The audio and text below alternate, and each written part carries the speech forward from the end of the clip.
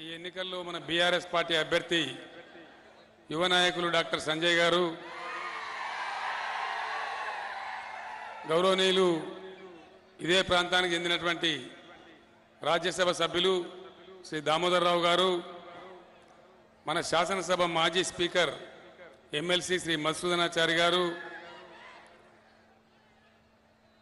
Jagtial ZP chairperson శ్రీమతి Vasantha garu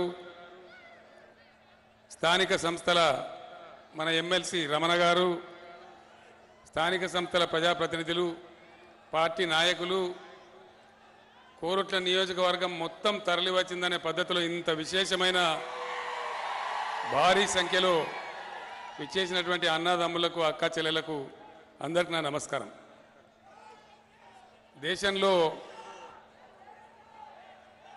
last చెప్పుకుందాం please. Time లేదు నాకు లాస్ట్ చెప్పుకుందాం. ఈ దేశంలో మనకు స్వతంత్రం వచ్చి డెబ్బై ఐదు సంవత్సరాలు గడుస్తూ ఉంది. ఎలక్షన్ వస్తే చాలా గందరగోళం ఉంటుంది. బాగా నాయిస్గా ఉంటుంది. ఆలోచన తక్కువ గడబిడ ఎక్కువ ఉంటుంది. దేశంలో మనకు ఉన్నటువంటి ప్రజాస్వామ్యానికి ఇంకా బాగా పరిణతి రావాల్సినటువంటి అవసరం ఉంది. డెమోక్రటికల్ మెచ్యూరిటీ రావాలి. ఎందుకంటే ఏ ఏ దేశాలలో అయితే ఆ మెచ్యూరిటీ బాగా వచ్చిందో ఆ దేశాలు బాగా ముందుకు దూసుకొని పోతా ఉన్నాయి అభివృద్ధిలో. మనం ఇంకా కూడా మొదట్లోనే ఉన్నాం. మీ అందరితో కూడా నేను కోరేది ఒకటే. ప్రజాస్వామ్యంలో ప్రజల చేతిలో ఉండేటువంటి వజ్రాయుధం మీ ఓటు మాత్రమే. ఈ ఓటు యొక్క వాల్యూ ఎందుకంటే ఓటు అలవోకగా తమాషాగా వేస్తే అది మన తలరాతను మారుస్తుంది. ఎవరు ఉంటే మంచిది ఎవరు ఏం చేసిండ్రు అనేది నిర్ణయించి విచారం జరిగితే మంచి తీర్పు వచ్చే అవకాశం ఉంటుంది. ప్రజలకు కూడా మేలు జరిగే అవకాశం ఉంటుంది. ఎలక్షన్లు చాలా వస్తాయి పోతాయి. మీ అందరికి తెలుసా విషయం. చాలామంది ఎమ్మెల్యేలు అవుతూ ఉంటారు ఎంపీలు అవుతూ ఉంటారు ఇంకేదో అవుతూ ఉంటారు. అభ్యర్థి గుణగణాన్ని చూడాలి. ప్రతి పార్టీకి ఒక మనిషి నిలబడతాడు. ఆ అభ్యర్థి మంచి చెడ్డలు చూడాలి తప్పకుండా. అట్లే అభ్యర్థి వెనక ఒక పార్టీ ఉంటుంది. అది చాలా ముఖ్యం. ఎమ్మెల్యే గెలిస్తే ఏమవుతుంది ఈ ఎమ్మెల్యేల గెలుపు ద్వారా రాష్ట్రంలో ప్రభుత్వం ఏర్పడుతుంది. ఆ ప్రభుత్వమే మొత్తము రాష్ట్ర భవిష్యత్తు నిర్ణయిస్తుంది. అంటే మీరు కనుక కింది మీద చేస్తే తప్పుడు నిర్ణయాలు వస్తాయి తప్పుడు ప్రభుత్వాలు వస్తాయి. అభ్యర్థి వెనుక ఉన్న పార్టీలకు చరిత్ర ఉంటుంది. ఆ పార్టీల చరిత్ర ఏందో ఒకసారి మీరు పరిశీలన చేయాలని నేను కోరుతా ఉన్నా. పట్టణంలో మీ బస్తీకి పోయినాక లేదు మీ గ్రామానికి పోయిన తర్వాత నేను చెప్పే నాలుగు మాటలు దయచేసి ప్రజలతో చర్చ పెట్టాలని చెప్పి నేను కోరుతా ఉన్నా. అట్లా జరిగినప్పుడే మంచి ప్రభుత్వాలు వస్తాయి మంచి నాయకులు వస్తారు. ప్రజలకు వాస్తవానికి చాలా మంచి జరుగుతుంది. మీ అందరిని నేను కోరేది ఒకటే ఆ పార్టీల యొక్క నడవడిక ఏంది? వాళ్ళ చరిత్ర ఏంది? ప్రజల గురించి రైతుల గురించి పేదల గురించి ఆ పార్టీలు ఏ విధమైన పనులు అమలు చేసినాయి? వీటిని మరి పరిశీలించాలని చెప్పి నేను కోరుతా ఉన్నా. ఎందుకంటే మంచి చెడ్డ గమనించకుండా గుడ్డిగా ఓటేస్తే చాలా ప్రమాదాలు వచ్చే అవకాశం ఉంటుంది. మీ అందరినీ కూడా నేను మరొకసారి కోరుతా ఉన్నా ప్రజాస్వామ్య పరిణతిని ప్రదర్శిస్తూ మీరు ముందుకు పోవాల్సిన అవసరం ఉంది. గత కొన్ని సంవత్సరాల నుంచి విద్యాసాగర్ రావు గారు మీ సేవలో ఉన్నారు. మీకు తెలుసు ప్లీజ్ ప్లీజ్ ప్లీజ్ తమ్ నేను ఇక్కడ మొత్తుకొని నువ్వు అక్కడ మొత్తుకుంటే ఏది అర్థం కావాలా? నాకు టైం కూడా లేదు కదా నాకు పదిహేను నిమిషాలు టైం ఉంది. డిస్టర్బ్ చేయకపోతే మంచిది. పార్టీల యొక్క నడవడిక వాళ్ళ వైఖరి వాళ్ళకు అవకాశం ఇచ్చినప్పుడు వాళ్ళు ఏం చేసినారు అనేది మీరు ఆలోచన చేయాలి. బీఆర్ఎస్ పార్టీ పుట్టిందే తెలంగాణ కోసం. మీకు తెలుసు ఆ విషయం. ఆనాడు నా వెంట ఉద్యమంలో మీరు చాలామంది కూడా ఉన్నారు. మెట్టిపల్లికి కోరుట్లకు నేను చాలాసార్లు వచ్చినాను. ఉద్యమ సందర్భంలో కూడా. ఆ రోజు కూడా మీరు బ్రహ్మాండమైనటువంటి ఉద్యమాన్ని సమర్థించినారు ఉద్యమాన్ని ముందుకు నడిపినారు. మీ అందరితో నేను కోరేది ఒకటే. బీఆర్ఎస్ పదేళ్ళ ప్రభుత్వంలో ఏం జరిగింది? అంతకుముందున్న కాంగ్రెస్ యాభై ఏళ్ళ ప్రభుత్వంలో ఏం జరిగింది? ఈ చరిత్ర అంతా కూడా మీ కళ్ళ ముందర ఉన్నది. మీ సొంత అనుభవంలో ఉన్నది. దాన్ని మీరు బేరీజ్ వేయాలి అంచనా వేయాలి. తెలంగాణ వచ్చినాడు చాలా బాధలు. కరెంటు లేదు మంచినీళ్ళు లేవు సాగునీళ్ళ కటకట దేశమంతా బతకపోవడం వలసలు పోవడం ఎవరిని పడుచుకునే పరిస్థితి లేదు. ముఖ్యంగా మా నేతన్నలు చేనేత కార్మికులు ఒక్కొక్క రోజు సిరిసిల్లలో భూదాన్ పోచంపల్లిలో దుబ్బాకలో ఒక్కొక్క రోజు ఆరుగురు ఏడుగురు ఎనమడుగురు చచ్చిపోవడం మేము పోయి ఆ శవాలం పట్టుకొని ఏడవడం ఇవన్నీ కూడా జరిగినాయి. భూదాన్ పోచంపల్లిలో ఏడుగురు నేతన్నలు చనిపోతే నేను పోయి ఆ శవాన్ని పట్టుకొని అప్పుడు ఉన్న ముఖ్యమంత్రికి రెండు చేతుల దండం పెట్టి నేను బతిమాలిన. ఒక యాభై వేల రూపాయలు ఏవా లక్ష రూపాయలు ఏవా వాళ్ళు బతుకుతారు పాపం పోయినోళ్ళు పోయినరు ఉన్నోళ్ళన్న బతుకుతారంటే ఒక రూపాయి కూడా ఇవ్వలే. ఇవన్నిటిని కూడా దృష్టిలో పెట్టుకొని తెలంగాణకున్న కష్టాలన్నీ ఏమేమి ఉన్నాయి మనం ఏం చేయాలి మన కర్తవ్యం ఏందని ప్రభుత్వం వచ్చిన తర్వాత ఒక మూడు నాలుగు మాసాలు చాలా కష్టపడి ఆలోచించి ఒక దారి పెట్టుకొని ముందు పోతా ఉన్నాం. దానిలో అన్నిటికన్నా ముందు ఆలోచించింది పేదల సంక్షేమం. మీకు ఒకటే మాట నేను మనవి చేస్తూ ఉన్నా. అంతకుముందు ప్రభుత్వాలు తమాషకు పెన్షన్లు ఇచ్చేది. మనం డెబ్బై రూపాయల పెన్షన్ చూసినాం. నలభై రూపాయల పెన్షన్ చూసినాం. రెండు వందల రూపాయల పెన్షన్ చూసినాం. పెన్షన్ను మొదటిసారిగా వేల రూపాయలు తీసుకుపోయిందే ఒక కేసీఆర్ బీఆర్ఎస్ ప్రభుత్వం అని చెప్పి నేను మనవి చేస్తా ఉన్నా. ఇంకొక మాట కూడా ఇక్కడ నేను చెప్పాలి. మన దేశంలో నేను కొంతకాలం కేంద్రంలో కార్మిక శాఖ మంత్రిగా పనిచేసిన మీ అందరికీ తెలుసు. అప్పుడు నేను మా చూసిన నేను ఈ బీడీ కార్మికులు కార్మిక శాఖ కిందకే వస్తారు. ఆ రోజు పంతొమ్మిది రాష్ట్రాలలో బీడీలు చేసే వాళ్ళు ఉంటారు. బెంగాల్లో ఉంటారు మహారాష్ట్రలో ఉంటారు చాలా రాష్ట్రాలలో ఉంటారు. ఏ ఒక్క రాష్ట్రంలో కూడా ఈ రోజు కూడా బీడీ కార్మికులకు పెన్షన్ ఇయ్యరు. కానీ నేను చిన్నప్పుడు హై స్కూల్ చదువుకుంటప్పుడు ఒక బీడీలు చేసే వాళ్ళ ఇంట్లోనే దుబ్బాకలో చదువుకున్నాను వాళ్ళు రెండు రెండు ఒకటే దగ్గర దొరికినాయి నాకు అనుభవాలు. వాళ్ళు బీడీలు చేసేది వాళ్ళు చేనేత కార్మికులు. మొగాయన పాపం బట్టలు నేసే చీరలు నేసేది ఆ అమ్మనేమో నాకు అన్నం పెట్టే అమ్మనేమో బీడీలు చేసేది. వాళ్ళ బాధలు నాకు కళ్ళారా నేను చూసినాను. వాళ్ళు తినే తిండి కూడా చూసినాను. వాళ్ళు పడే అవస్థలు కూడా నేను చూసినాను. వాళ్ళకు వచ్చే బీమారీలు ఏందో కూడా నాకు తెలుసు. అంత కష్టజీవులు అని చెప్పి నాకు తెలుసు కాబట్టే నన్ను ఎవ్వరు అడగలే నాకు ఎవరు దరఖాస్తు పెట్టలే. నా అంతా నేనే ఆలోచించి బీడీ కార్మికులకు పెన్షన్ ఇచ్చినటువంటి ఇండియాలోనే ఒకే ఒక్క రాష్ట్రం ఇలా తెలంగాణ నేను మనవి చేస్తూ ఉన్నా. పెన్షన్ మనం ఒకటేసారి ఆగమాగం ఓట్ల కోసం పెట్టలే. ఓట్ల ముందరనే ఏదో మోసం చేయడానికి చెప్పలే. కళ్యాణ లక్ష్మి ఓట్లప్పుడు చెప్పలే. రైతు బంధు ఓట్లప్పుడు చెప్పలే. ఎన్నికల ప్రణాళికలు చెప్పినవి పది అయితే చెప్పకుండా చేసినవి కొన్ని వంద కార్యక్రమాలు టీఆర్ బీఆర్ఎస్ ప్రభుత్వం చేసింది. అవన్నీ మీ దృష్టిలో ఉన్నాయి. బీడీ కార్మికులకు పెన్షన్ ఇస్తా ఉన్నాం. వాళ్ళకు కూడా ఇప్పుడు రెండు వేల నుంచి ఐదు వేల రూపాయలకు పోతుంది పెన్షన్. తప్పకుండా గవర్నమెంట్ రాగానే ఇప్పుడు మార్చి తర్వాత మూడు వేల రూపాయలు అవుతుంది సంవత్సరానికి ఒక ఐదు వందలు పెరుక్కుంటూ నాలుగేళ్ళలో ఐదు వేల రూపాయలకు పోతుందని చెప్పి నేను మనవి చేస్తా ఉన్నా. సంజయ్ గారు ఇప్పుడే అడిగినారు. అక్కడ ఆర్మూర్లో జీవన్ రెడ్డి అడిగినాడు. నిర్మల్లో ఇంద్రకరణ్ రెడ్డి అడిగినాడు. సిరిసిల్లలో కేటీ రామారావు అడిగినాడు. బీడీ కార్మికులు ఎక్కడెక్కడైతే ఉన్నారో అక్కడ ఎమ్మెల్యేలు అడిగినారు. సంజయ్ ఇంకా ఎమ్మెల్యేని కానే లేదు కానీ ఆయన కూడా దుకాణం మొదలుపెట్టిండు. ఎందుకంటే కొత్త బీడీ కార్మికులకు కొత్తగా నంబర్ వచ్చిన వాళ్ళకు కూడా చేర్చాలని చెప్పిండు.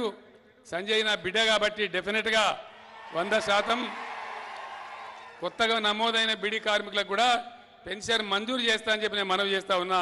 ఇది నా వాగ్దానం అని చెప్పి కూడా నేను మనవి చేస్తా ఉన్నా. వాళ్ళు కూడా రందిపడే అవసరం లేదు. వాళ్ళందరూ కూడా పెన్షన్ వచ్చే విధంగా నేనే ప్రత్యేకంగా శ్రద్ధ వహిస్తాను కూడా నేను మనవి చేస్తూ ఉన్నా. ఇంకొక విషయం ఆలోచన చేయాలి మీరు.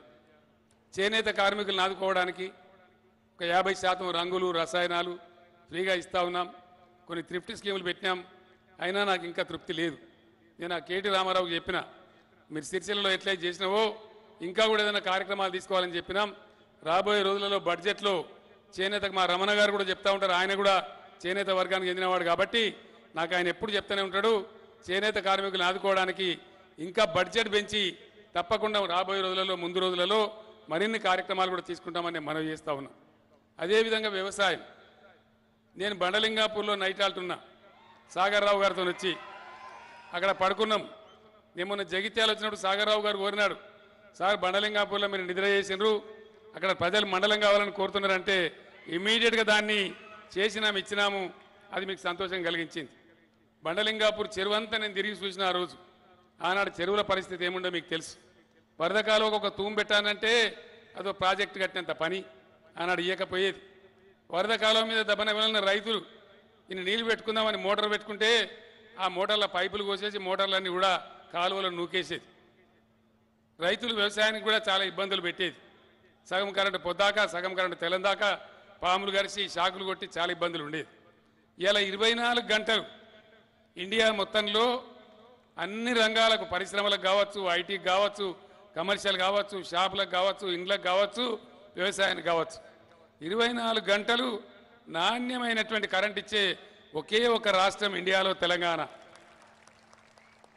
రైతు దగ్గరికి వచ్చి వరద కాలం కట్ట మీద వచ్చి లేదు కాకతీయ కాలం కట్ట మీద వచ్చి ఎవడన్నా రైతును మాట్లాడిచ్చే కొడుకున్నాడా? నువ్వు ఎన్ని ఆర్స్ పవర్లు పెట్టినావు? మూడు మోటార్లు పెట్టినావా? రెండు మోటార్లు పెట్టినావా? అని ఎవడని అడుగుతున్నాడా? ఏవల కారణం దీనికి? బీఆర్ఎస్ కారణం బీఆర్ఎస్ ప్రభుత్వం కారణం. వ్యవసాయాన్ని వ్యవసాయాన్ని ఎట్టి పరిస్థితులలో స్థిరీకరణ చేయాలి పల్లెలు బాగుండాలి పల్లెలలో డబ్బు రావాలి రైతు మంచిగుంటే ఆ గ్రామాలు బాగుంటాయని ఆలోచించి ఒక పాలసీ పెట్టుకున్నాం. ఏమేమి చేసినాం? రైతుకు ఎలా మునిపేముండే నీటి తీరువా వసూలు చేసేది. వాటర్ ట్యాక్స్ ఉండేది. కాలువ నీళ్ళు ఇస్తే ఎకరానికి ఇంత అని వసూలు చేసేది. అంతకుముందున్న బకాయిలు మాఫీ చేసినాం నీటి తీర్మాన్ని శాశ్వతంగా తీసి అవతల పడేసినాం. ఇలా నీళ్ళ ట్యాక్స్ లేదు. కరెంటుకు ట్యాక్స్ లేదు. ఉల్టా రైతు బంధిస్తూ ఉన్నాం. రైతు బీమా ఇస్తూ ఉన్నాం. ప్రభుత్వమే ధాన్యం కొనుగోలు చేస్తూ ఉంది. రైతు బీమా ఇస్తే రైతు రైతు బంధిస్తే ఎట్లా వస్తుంది రైతు బంధు? ఎవరికి దరఖాస్తు పెట్టేది లేదు ఆఫీసుల చుట్టూ తిరిగేది లేదు ఏవనికి నమస్తే పెట్టే పని లేదు. అక్కడ మేము బ్యాంకులో డబ్బులు ఇస్తే మీ సెల్ఫోన్లు అన్నీ టింగు టింగుమని మోగుతాయి ఇక్కడ. మీరు చూసుకుంటే మీ బ్యాంకులో డబ్బులు పడుతున్నాయి. యథావిధిగా జరుగుతుంది. ఇలా రైతులు అప్పులు తీరుతూ ఉన్నాయి. మంచి రైతులు ఎవరైతున్నారో ఖరాబ్ చేసుకున్న వాళ్ళు ఎట్లా ఎప్పుడైనా ఖరాబ్ చేస్తారు కానీ మంచి రైతులు ఎవరైతున్నారో వాళ్ళ అప్పులు తీరిపోయినాయి. పంట పెట్టుబడికి బ్యాంకు రుణం తీసుకునే అవసరం కూడా లేకుండా జరుగుతూ ఉంది. రెండుసార్లు రైతుల రుణాలు మాఫీ చేసినాం. లక్ష రూపాయల దాకా ఒకసారి అయిపోయింది. లక్ష రూపాయల పైన వాళ్ళకు కూడా జరుగుతూ ఉంటే మధ్యలో ఎలక్షన్ వచ్చి ఆగిపోయింది. నేను మీకు హామీ ఇస్తా ఉన్నా ఆ మిగిలిన వాళ్ళకు కూడా ఇమీడియట్గా రైతు రుణమాఫీ కూడా జరిగిపోతుంది. దాని గురించి మీరు చింతించాల్సిన అవసరం లేదని నేను మనవి చేస్తా ఉన్నా. అదేవిధంగా ధరణి తెచ్చినాం. రైతుల భూములు ఏరా పేరు కాకుండా జుట్లు జుట్లు ముడే స్టాక్ రాటలు పెట్టకుండా ఒకల భూమి ఇంకోల పేరు మీద రాయకుండా ఇవన్నీ లేకుండా ధరణి తెచ్చినాం. ధరణి ఉన్నది కాబట్టే ఇలా రైతుల డబ్బులు బ్యాంకులోకి నేరుగా వస్తూ ఉన్నాయి. రైతు చనిపోతే బీమా డబ్బులు నేరుగా బ్యాంకులోకి వస్తూ ఉన్నాయి. ధాన్యం కొంటే మీ డబ్బులు బ్యాంక్ ఖాతాలో పడతా ఉన్నాయి. ఇలా కాంగ్రెస్ నాయకులు మాట్లాడుతూ ఉన్నారు. ధరని తీసేస్తారట. ధరని తీసి బంగాళాఖాతంలో వేస్తారట ఎందుకు? మళ్ళా దళారుల రాజ్యమా? మళ్ళా పైరవికాల రాజ్యమా? ఇలా ఏమైతే ధరని తీసేస్తే రైతు బంధు డబ్బులు ఎట్లా వస్తాయని నేను అడుగుతా ఉన్నా. మీరు గ్రామాలలో ఈ విషయం చర్చ పెట్టాలి దయచేసి. రైతు తీసేస్తే ఎన్నింటికి పోవాలా? ఇంకో ఐదారు నిమిషాలు ఉంది కదా. ఈ హెలికాప్టర్తో ఇదే తంట. మీ అందరితో నేను ఒకటే మనం చేస్తా ఉన్నా. బంగాళాఖాతం వేస్తాం ధరని తీసేయని రాహుల్ గాంధీ కూడా మాట్లాడుతూ ఉన్నాడు. ధరని తీసేస్తే మళ్ళీ ఏమొస్తుంది? మళ్ళీ విఆర్ఓలు పానీనకళ్ళు అగ్రికల్చర్ ఆఫీసర్లు నీకు ఎన్ని ఎకరాలు ఉన్నది పది ఎకరాలు. ఎంత వస్తుంది రైతు బంధు? లక్ష వస్తుంది లా నాకు ఇరవై వేలు నాకు ముప్పై వేలు మళ్ళీ ఇదే దందా కదా? మళ్ళీ పైరవీలే కదా? మళ్ళీ దళారుల రాజ్యమే కదా? ధరని ఉండన్నా తీసేయన్నా ఉండాలంటే వాళ్ళు ఒకసారి చేతులు లేవడాలి దయచేసి. ఇంకో కాంగ్రెస్ అయినా మాట్లాడతాడు. కేసీఆర్ బేకారు చేస్తాడు రైతు బంద్ ఇచ్చి. ప్రజల ట్యాక్స్ సమ్ములని బేకారు చేస్తాడు దుబారా చేస్తాడు అని మాట్లాడతాడు. రైతు బంధు దుబారానా? ఉండాలి కదా రైతు బంధు? ఉండాలే కాదు బీఆర్ఎస్ గవర్నమెంటే వస్తుంది మీ దయతోని. పన్నెండు వేల ప- పన్నెండు వేలు మొదటి సంవత్సరం అవుతుంది పెరుక్కుంటూ రైతు బంధు ఎకరానికి పదహారు వేలు అవుతుందని చెప్పి నేను మనవి చేస్తా ఉన్నా. తొంభై మూడు లక్షల రేషన్ కార్డుల వాళ్ళందరికీ సన్న బియ్యమే వస్తాయి మార్చి తర్వాత అని చెప్పి నేను మనవి చేస్తా ఉన్నా. అనేక కార్యక్రమాలు మేనిఫెస్టోలో ప్రకటించినాం. మీరు అన్ని కూడా చూసినారు. మీ అందరు నేను కోరేది ఒకటే. కరెంటు కూడా ఇరవై నాలుగు గంటలు ఇస్తే ఎందుకు వేస్ట్? మూడు గంటలు సరిపోతుంది పారుతుందని చెప్తా ఉన్నారు. పారుతుందా? మూడు గంటలలో? ఇరవై నాలుగు గంటలు ఉండాలి కదా? ఒక్కసారి చేయలేవటాలు దయచేసి ఇరవై నాలుగు గంటలు ఉంటాయి ఈ కెమెరా వాళ్ళు గడ తీయరా బాబు? ఎంతమంది ఇరవై నాలుగు గంటలు ఉండాలంటారు కదా తీయరు ఒక్కసారి. ఇరవై నాలుగు గంటలు ఉండాలి కదా? ఇరవై నాలుగు గంటల కరెంటు రైతుకు ఉండాలంటే మరి బీఆర్ఎస్ గవర్నమెంట్ ఉండాలి. అంతే కదా? మళ్ళీ వాళ్ళని నమ్మితే వైకుంఠం ఆటల పెద్ద మింగినట్టు అవుతుంది మళ్ళీ మొదటి కథ కథ. తీర్థం పోదాం తిమ్మక్క అంటే నువ్వు గుళ్ళే నేను సల్లే. మళ్ళీ మొదటి కథ. కథ ఆ కథ రావద్దంటే మళ్ళీ బీఆర్ఎస్ఏ రావాలి. సంజయ్ నేను చెప్తా ఉన్నా నేను నిరాహార దీక్ష వచ్చినప్పుడు ఢిల్లీలో కానీ ఆమరణ దీక్ష వచ్చినప్పుడు కానీ ఆయన డాక్టర్ కాబట్టి వైద్యుడు కాబట్టి ఆ నిమిష నిమిషం నా దగ్గర ఉండి నన్ను చూసుకుంటూ నా ప్రాణాలు కాపాడినటువంటి నా బిడ్డ లాంటి వ్యక్తి. యువ నాయకుడు చదువుకున్నవాడు వైద్య వృత్తిలో ఉన్నవాడు ఆయన కోట్లు సంపాదించుకోవచ్చు. కానీ ఎందుకు ఆయనకు ఇంట్రెస్ట్ వచ్చి నా గడ్డకు నేను సేవ చేయాలని వచ్చినాడు మీరందరూ కూడా పెద్ద మనసుతో దయచేసి దీవించాలని చెప్పి నేను కోరుతా ఉన్నా रियासत के मुसलमान भाइयों को मैं सलाम करता हूं मैं आपसे अदबन गुजारिश करता हूं तेलंगाना एक अमन पसंद रियासत है जब तक केसीआर जिंदा रहेगा तब तक ये सेक्युलर रियासत ही बने रहेगा किसी कीमत पर इसमें कॉम्प्रोमाइज नहीं होंगे मैं तेलंगाना जद्दोजहद में भी कुर्का में आया था, मेटपल्ली में आया था। उस टाइम भी मैं कह रहा था, हमारे जंग में नियत है, एक दिन तेलंगाना बन के रहेगा। अल्लाह के घर देर है, लेकिन अंधेर नहीं है। मुद्दा ही लाख बुरा चाहा तो क्या होता? वही होता है जो मंजूर खुदा होता है। आज हमारे अकलियती बहबूदी के लिए मैं एक ही बात आपके कान पर डालना चाहता हूँ। हमसे पहले दस साल यहाँ कांग्रेस पार्टी का हुकूमत था। दस सालों में उन्होंने माइनॉरिटी वेलफेयर के लिए अकलियती बहबूदी के लिए सिर्फ़ नौ सौ नौ सौ करोड़ खर्च करे। दस साल हमारे सरकार में हम बारह हज़ार करोड़ खर्च किए। देखिए फ़र्क कितना है। किस तरीके से हमने माइनॉरिटी तुलबा के लिए, माइनॉरिटी स्टूडेंट्स के लिए, जो रेजिडेंशियल कॉलेजेस खोले गए, ये आप समझ सकते हैं, वो लोग कितना अच्छा पढ़ाई कर रहे आगे जाके उनकी ज़िंदगी तरक्की हो जाएगा। सबके साथ सब मिलके हम तेलंगाना रियासत को एक मजबूत रियासत बनाएंगे సోదరులను మీకు ఒకటే మాట మనవి చేస్తా ఉన్నా ఏదన్నా దేశం బాగుపడిందా వెనుకకు పోయిందా అని చూడడానికి రెండు గీటరాలు ఉంటాయి ఒకటి ఆ రాష్ట్రం యొక్క తలసరి ఆదాయం నేను గర్వంగా మనవి చేస్తా ఉన్నా రెండు వేల పద్నాలుగులో తెలంగాణ పదిహేనో పద్దెనిమిదో స్థానంలో ఉండే ఈరోజు తెలంగాణ మీ అందరి సహకారంతో అద్భుతమైన పంటలతోని ఆర్థికంగా ఎదిగి మూడు లక్షల పద్దెనిమిది వేల రూపాయలతో తలసరి ఆదాయంలో ఇండియాలో నంబర్ వన్ ఉన్నదని చెప్పి నేను గర్వంగా మనవి చేస్తా ఉన్నా. కరెంట్ సప్లైలో పర్ క్యాపిటా పవర్ యూటిలైజేషన్లో కూడా తెలంగాణ నంబర్ వన్ ఉందని నేను మనవి చేస్తా ఉన్నా. ఈ రకంగా ముందుకు పోతున్నటువంటి బీఆర్ఎస్ పరిపాలనలో తెలంగాణ ఇదే విధంగా ముందుకు పోవాలి. మీ ఆశీర్వచనం కావాలి. యువకుడు మంచి చదువుకున్నటువంటి వ్యక్తి ఇదే గడ్డ మీద పెట్టిన బిడ్డ సంజయ్ గారికి ఓటేసి దీవించాలని నేను మీ అందరి కొద్దు ఈ హెలికాప్టర్ బాధ నేను సెలవు తీసుకుంటా ఉన్నా. జై తెలంగాణ. కారు గుర్తుకే. కారు గుర్తుకే. జై తెలంగాణ. ధన్యవాదాలు.